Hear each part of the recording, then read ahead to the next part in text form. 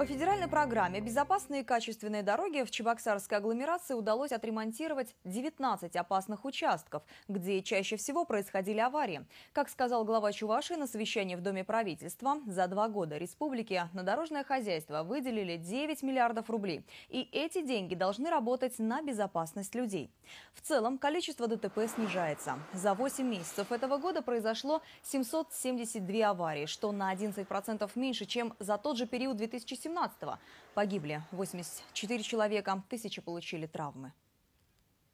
Количество ДТП с участием нетрезвым и отказавшихся от освидетельствования водителей сократилось э, с прошлым, по сравнению с прошлым годом на 34%.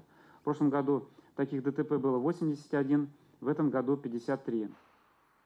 По данным ГИБДД, 249 ДТП произошло из-за плохих дорожных условий. Водители не увидели зебру или разметку, и инспекторы отметили это в протоколах. Владимир Иванов сообщил, что в этом году на трассах регионального значения краску нанесут еще раз, чтобы она сохранилась до весны. Но в МВД считают, что чаще обновлять разметку нужно в населенных пунктах. 70% аварий происходит именно в городах и селах, 20% на федеральных трассах и только 10% на региональных.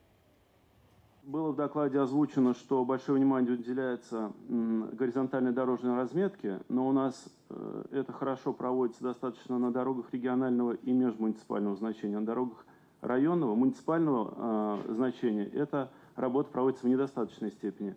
В частности, хотел обратить внимание на Алатри Урмары, где фактически горизонтальная дорожная разметка находится в неудовлетворительном состоянии. Также на дорогах продолжат устанавливать комплексы фото и видеофиксации нарушений. Как сообщил министр транспорта, в следующем году планируется купить еще 38 таких устройств.